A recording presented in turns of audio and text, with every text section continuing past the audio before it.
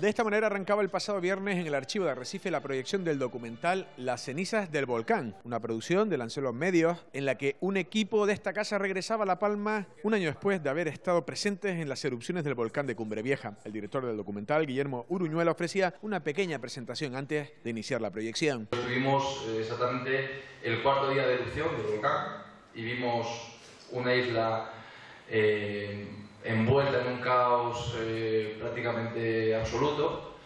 Y un año después pues las cosas evidentemente han cambiado eh, bastante. Tampoco quiero adelantar mucho en esta pequeña introducción lo que se verá luego en el documental, lo primero porque para ello vamos a utilizar testimonios de, de gente que ha sufrido en sus carnes y en primera persona lo que es perder una casa, lo que es perder un sustento familiar, lo que es verse evacuado. Uno de los protagonistas indiscutibles del documental fue sin duda el biólogo y vulcanólogo Frank Galars, quien hablaba de cuestiones poco habladas con anterioridad. Otra cosa que no vemos muchas veces son las nubes. La cantidad diferente de nubes, de cosas que pasaron en el cielo, nubes que salían de color ocre y se quedaban en el valle, inundaban el valle, otras que subían arriba y formaban ondas en las capas altas de la atmósfera, nubes azules mezcladas con negras, con amarillas, con blancas. Es impresionante. Vivir un volcán es una cosa muy curiosa. Deberían de dar formación en los colegios de lo que es un volcán.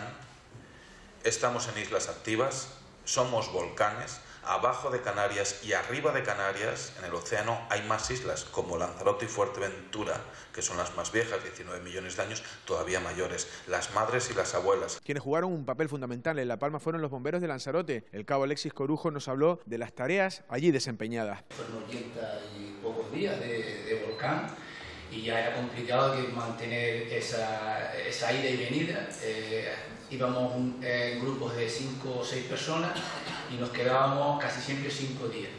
A mí me tocó eh, un poco distinto a mis compañeros porque ya no podíamos abarcar ir tantas personas y un grupo de Málaga que también se prestó a ayudar y me tocó ir con ellos. Eh, estuve con 10 días, eh, al final iba para 5 días, pero de Málaga al final me convencieron, dice, tío, ¿cómo te vas a ir? Que al final va a 20 personas, no me ha costado después adaptarnos juntos, pues al final me quedé 10 días y la verdad que la experiencia con respecto a, las personas, los palmeros, es, brutal, porque un bombero lo quiere ayudar y allí lo que hacía falta era humanos. Para todos aquellos que no lo pudieron ver en el archivo, Lancelos Televisión emitirá el documental Las cenizas del volcán este miércoles 23 de noviembre a las 10 de la noche.